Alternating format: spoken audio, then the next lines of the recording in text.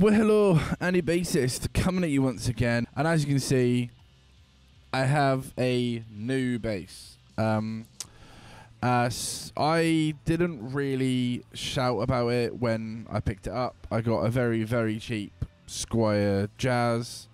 Um, I believe it was a classic vibe 70s, I think.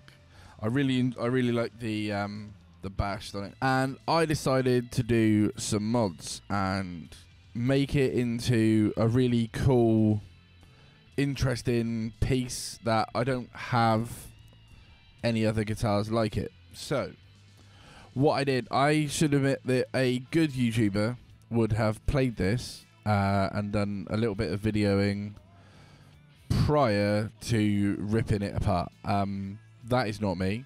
So here is a picture of the what the bass looked like originally, and here is what the bass looks like now. So obviously the major changes. It has a neck from or an aluminium neck from Baguley. Uh, as you can see, lovely reverse headstock. Little like what looks like a brass nut. Got some really cool tuners. They came separate. That's literally the only bit of obviously other than bolting it onto the guitar. You have to like secure these on with a socket set. Really easy. I did have to drill the holes through the body for the bolts to go through that make them a little bit wider. Again, easily done with just a hand drill. No, no worries, no fuss. It's not a problem. So yeah, on the back you've just got the standard scratch plate.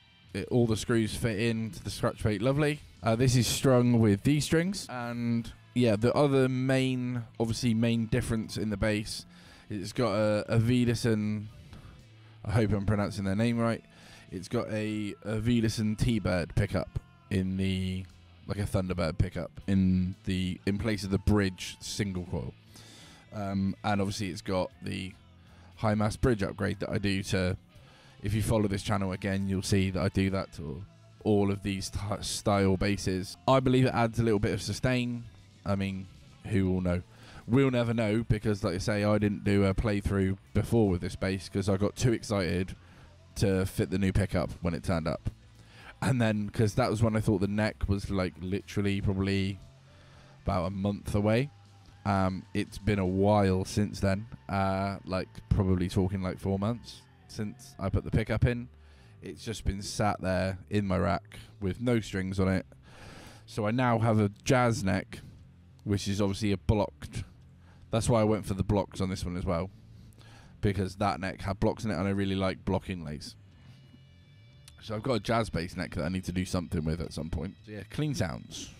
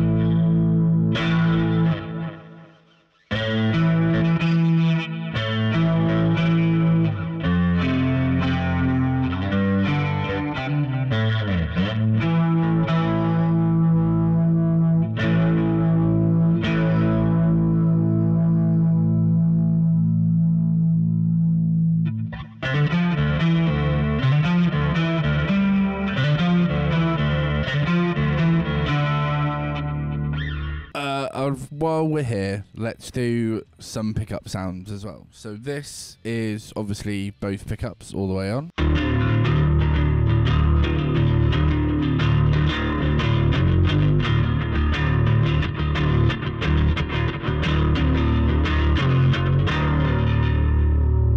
And now just the neck pickup.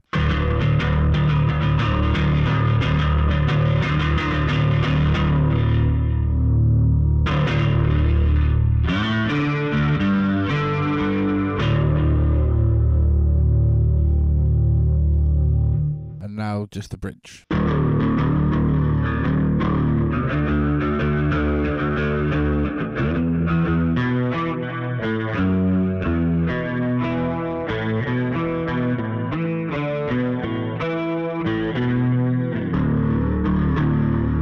So that's like the big, that's like the T-Bird pickup. So.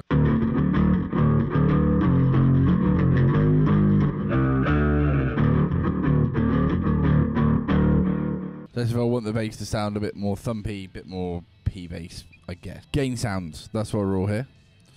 So we'll go back to tone all the way up, uh, both pickups. And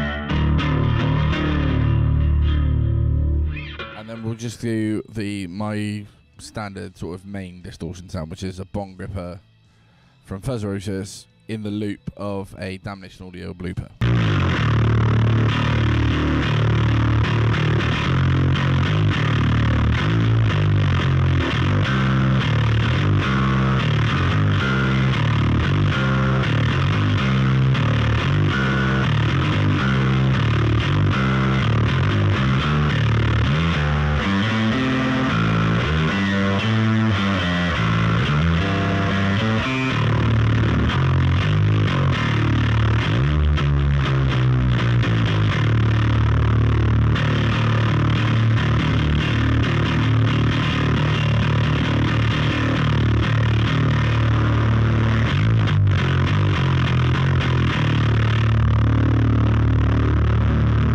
This is the Cave Bear by uh, Non-Human Audio.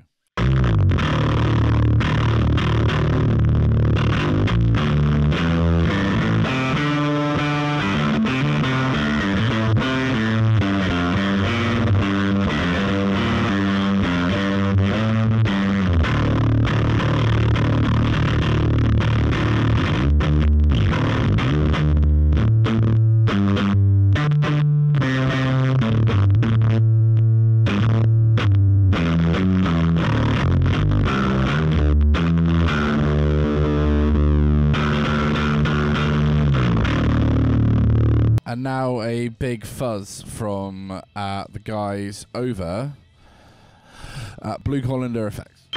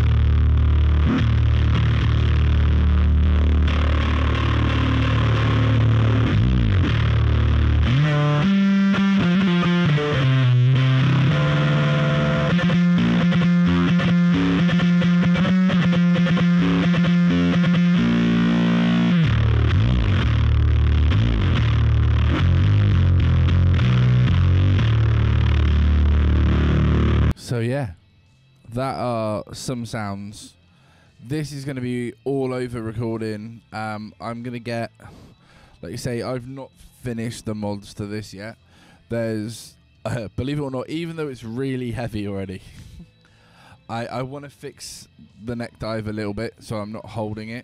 I have a really good strap, but I don't want to be have the, the tiring way of like holding it up.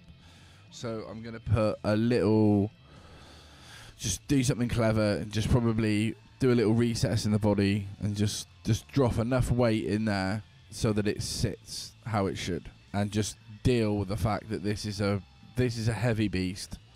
I have other light guitars that if you know I want to you know play something a bit lighter, um, like you know I've got my Dunable, I've got my Squier Affinity H's that have all been modded up. Um, you know, put cards up now.